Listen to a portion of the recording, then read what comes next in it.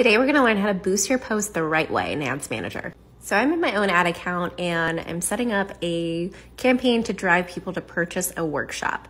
So here you can see I'm targeting my warm audiences. The conversion is gonna happen on my website, so that's why I picked website and I made sure that I had the right pixel selected. You can create a start and end date if you want to within the ad set.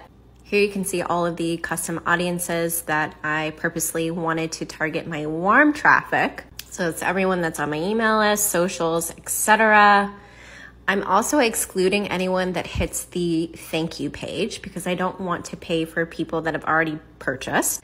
Then on the ad level where there is the option to, you know, put in an image or video, you're actually going to go to the ad setup section right here and click the drop down because it's going to default on create ad and you want to pick use existing post. Then when you scroll down to the ad creative, you're going to select that post. I actually want to pick the post from Instagram.